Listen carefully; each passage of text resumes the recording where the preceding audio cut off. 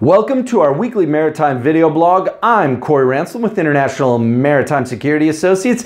This week, we're talking about veterans and the maritime industry.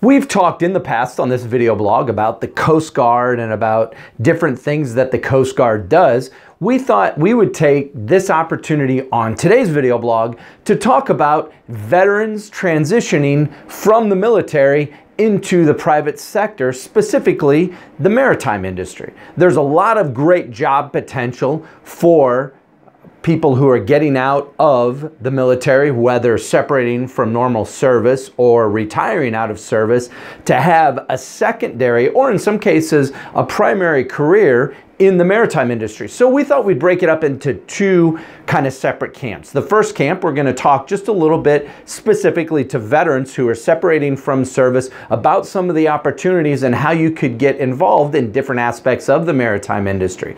We're also on the second kind of piece of this going to talk to employers about the benefits of hiring veterans and how you go about doing that. There's a lot of benefits to both sides when you look at veterans of the military coming out of military service with their skill sets of working in the maritime industry. So with that, we thought it'd be a great opportunity to really address both issues. So on the first side of it, if you're a veteran and you're going to be separating from military service and you're looking for part-time or full-time employment, let me just pitch to you the maritime industry. The maritime industry has a lot of potential opportunities for different jobs working on board vessels, on the shore side. There's a lot of really interesting things that you can do within the maritime industry. And when we speak in the maritime industry, we really speak in general terms of, of working in the cargo side of it, working in the cruise side of it, and also working in the large yacht side of it. As a military veteran, and, and specifically veterans coming out of a maritime service like the Navy or the Coast Guard,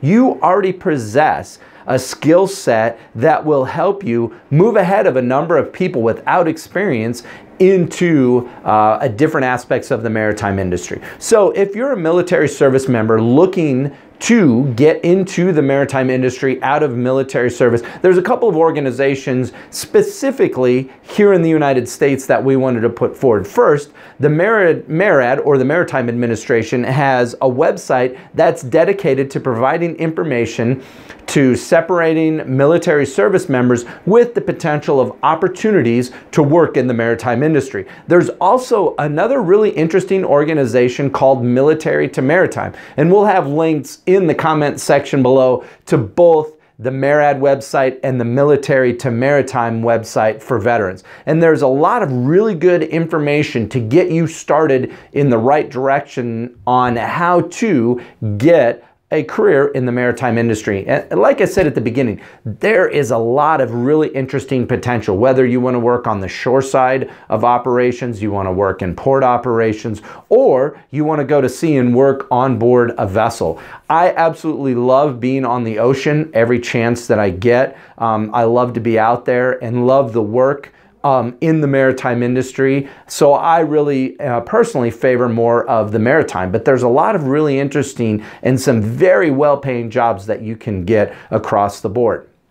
If you're looking to go to sea, as a separating military member, one of the first things you need to do is look at the potential or the training that you would need to be able to do that. So one of the very first classes that you will need to take if you don't already have this is called the STCW. This is just a week-long class and it gives you the basics of different shipboard operations. Now if you're coming off of a ship in the Navy or in the Coast Guard, this is going to be an extremely easy class because it talks about um, different aspects of, uh, firefighting, of flooding, uh, of watch uh, on board the ship, and different things that you've already done. So this will be a very easy class, but it's a requirement as kind of the first step to be able to, to get on board. If you have experience in the navigation and the ship driving, I would definitely recommend to get that experience together and go to a school school and actually get your captain's license. There's also engineering license that you can get if you've been on the engineering side of it. So there's a number of licenses that you can get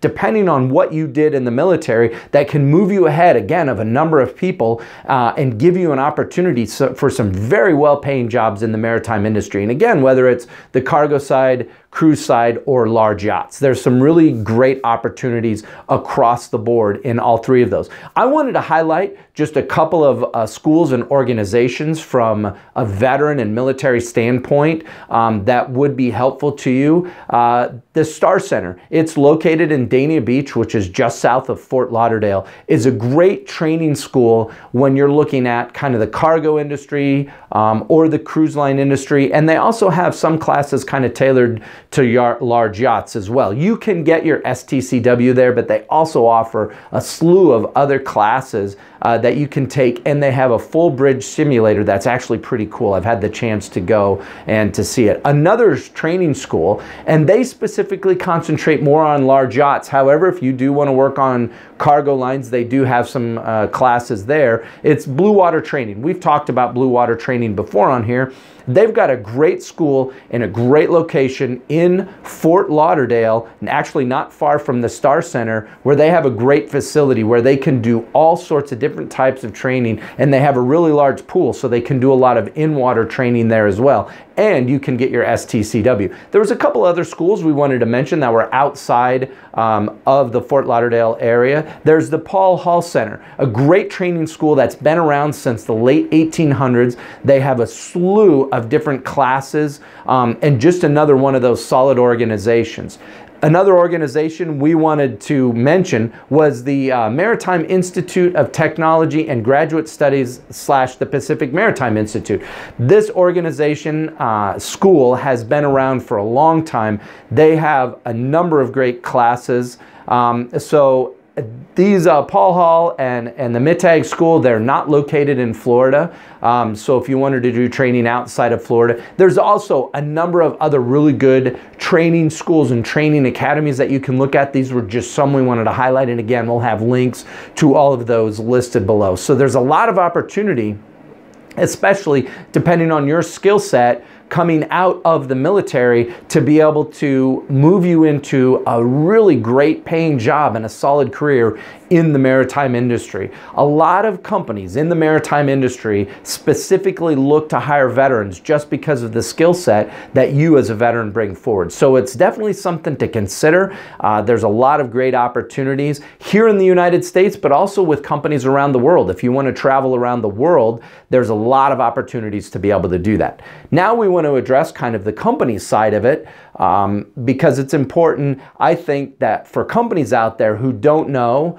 um, about skill sets of veterans or kind of how to connect with veterans, we thought it would be great to be able to mention that as well. So if you're a company, one of the things that I always recommend to companies, depending on what the company does, is that you look to veterans to be able to hire uh, to fill those positions that you have within your company. The men and women that are coming out of the military here in the United States, but some of the other military organizations around the world have phenomenal skills that can really be an asset to your company.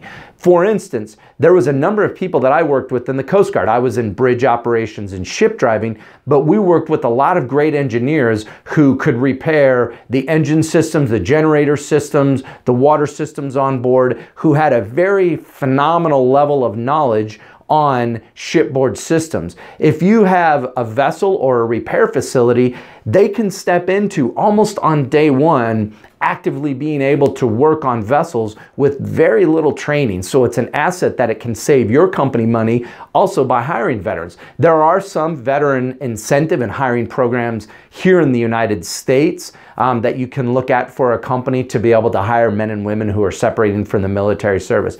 Military folks are, are well trained for the most part, extremely reliable. You typically don't have problems with military people um, like you may and people who have not been in the industry before. So I'm a big advocate on looking to hire military veterans who are separating from the service because they can be a big asset to your company. So hopefully from the veteran side and how to get into the industry and just a plug for the industry to look at veterans, this was helpful for you when we're looking at trying to transition military members out of the military into the workforce.